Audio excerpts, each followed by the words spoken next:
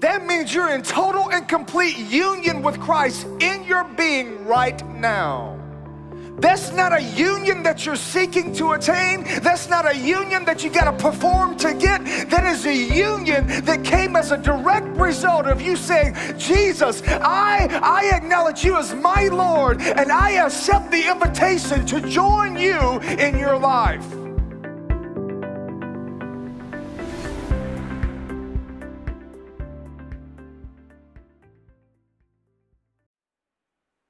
And God gave you this most beautiful gift. And you know what that most beautiful gift that God has given you? It is your will. The reason God gave you a will is because He doesn't want robots, He doesn't want people that are just programmed to serve Him. He doesn't want people like that. He wants people that are sons and daughters out of their own desire to serve Him, out of their own desire to submit to Him, out of their own will to say, you know what? Even though I'm, even though I am independent, even though I have a will, I choose to submit that unto you as my God. And so Jesus comes onto the scene and he reveals that right there. I surrender. I yield. And this man named Nicodemus comes to Jesus and he begins to talk to Jesus, and Jesus begins to explain this process to him. If you have your Bibles, turn with me to John chapter 3. And he begins to explain to Nicodemus what it means to be born again. And I want you to reconsider what it means to be born again, what it means to be indwelt by God's Spirit. If you are a born again believer in here today, you are indwelt by God's Spirit. And I want us to reconsider what that may mean. In John chapter 3, we see right here in verses 1 through 6. Now, there was a man of the Pharisees named Nicodemus, a ruler of the Jews. This man came to Jesus at night and said to him, Rabbi, we know that you have come from God as a teacher, for no one know, can do these things unless God is with him. Jesus responded and said to him, Truly, truly, I say to you, that means we need to pay attention. Unless someone is born again, he cannot see the kingdom. Nicodemus said to him, How can a person be born when he is old? He cannot enter his, uh, his mother's womb a second time and be born again, can he? Jesus answered and said, Truly, truly, I say to you, unless someone is born of water and the Spirit. Everyone say, Spirit. He cannot enter the kingdom of God. That, listen to this that which is born of the flesh is flesh, and that which is born of the Spirit is spirit. If the main emphasis of the New Testament is the empowerment and indwelling presence of Holy Spirit, then I think we need to shift the way that we think and learn to begin to think and be led by the Spirit of God. By this text right here, it says, You are born again by what? By the Spirit. We all understand we're not born again according to the natural, we're born again according to the spiritual. So when you connect this passage over, I want you to consider something with me, family. I know this is basic. Do not lose me right now. I understand this is basic, but we need to get this. I want you to consider 1 Corinthians 6 17, where it says, The one that has joined himself to the Lord has become one spirit with him. Do you realize that word one means singular to the exclusion of another? That means when you became, uh, became a born again believer, your spirit and God's spirit became one. That means you're in total and complete union with Christ in your being right now. That's not a union that you're seeking to attain. That's not a union that you got to perform to get. That is a union that came as a direct result of you saying, Jesus, I, I acknowledge you as my Lord and I accept the invitation to join you in your life.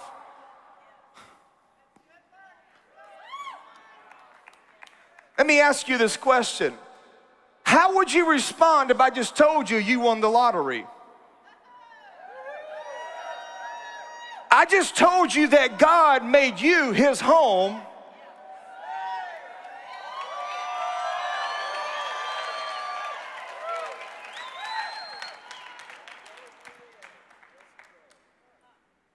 You See, what Jesus came to reveal is that, is that God was making us his aim. Heaven was making you its aim, but yet we're still trying to make heaven our aim. But heaven has made us its aim. I want us to reconsider what it means to be filled with the Spirit. I want us to reconsider what it means to have the indwelling presence of God living on the inside of us. That means God, the creator of the universe, decided to make you his home, decided to fill you with his Spirit, to bring you in total and complete union with him. First John chapter 4 verse 17 says, "And as he is, so also are you in this world. Wow.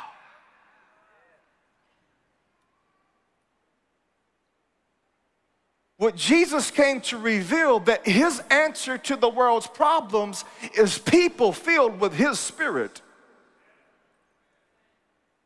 What if you realize you are the answer to the prayer you've been praying?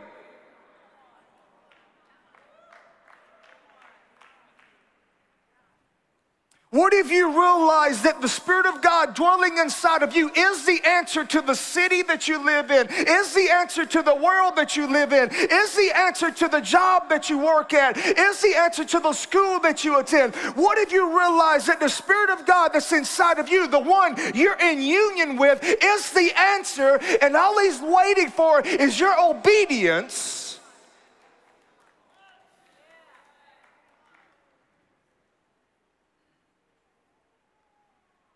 There are many things that God has had to do by His sovereignty simply because the body has refused to do by her responsibility.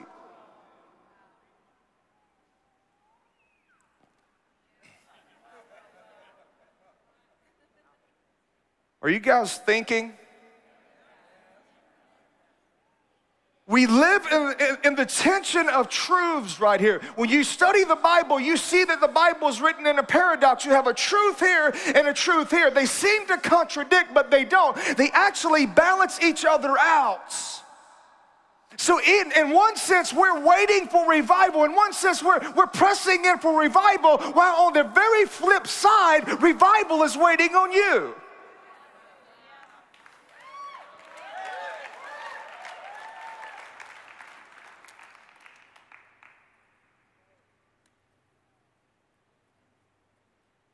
I want us to reconsider what it means to be indwelt by God. I want us to reconsider what I said yes to.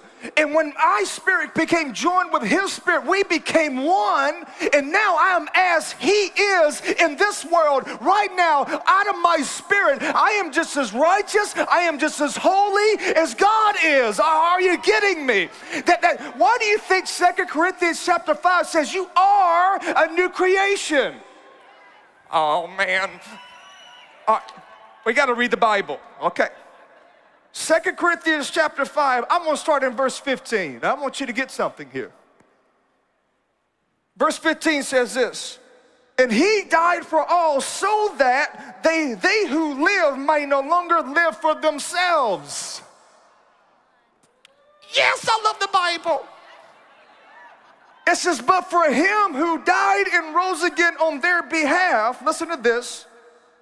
Therefore, from now on, we recognize no one according to the flesh. So if you don't recognize anyone according to the flesh, then how do you recognize them? According to the Spirit. It says, even though we have known Christ according to the flesh, yet we now know him in this way no longer. So then, how do we know him? By the Spirit. Let me ask you, where does His Spirit abide? Inside of you. Then it begins to say this Therefore, if anyone is in Christ, he is a new creature, creation. He is a new creature. Old things passed away. Behold, new things have come. That means your born again spirit has become completely new in union with God. You are separated set apart from who you used to be prior to the cross. You need to realize you didn't just simply go to the cross, you actually went through the cross. And when you went through the cross, everything that you were prior to that has been cut away from you. That's why you're now a new creation. That's why now in your spirit you carry the nature of God.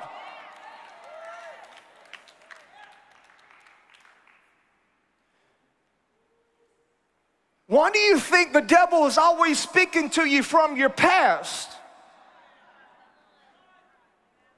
You see, Satan speaks to you from your past, calling you to your past, because he wants you to create a cycle that's been broke off. But when God speaks to you, it's from your future, calling you to your future. Oh.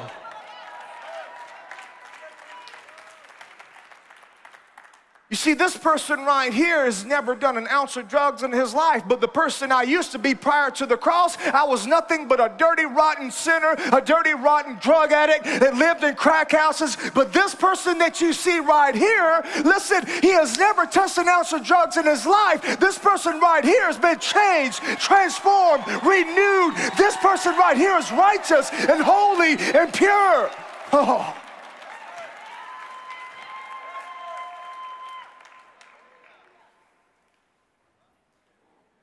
I'm not going to associate myself from someone God cut off.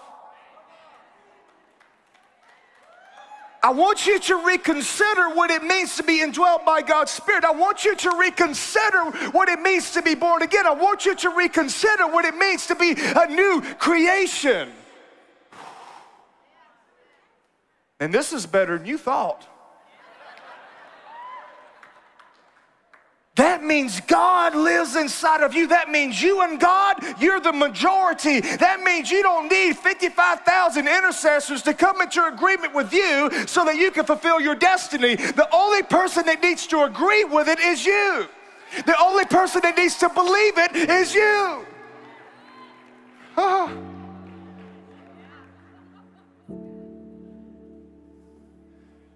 I'm not telling you that this right here is going to change all the circumstances in your life, but what I am saying is those circumstances in your life no longer have the power to change you. Why? Because there's an internal work that's taking place. There's an internal job that's already been accomplished, and that is the work of Christ dwelling on the inside of you. That's why the Bible says in 1 John 4 Greater is He that's in you. Woo! That means Satan is victim to your victory.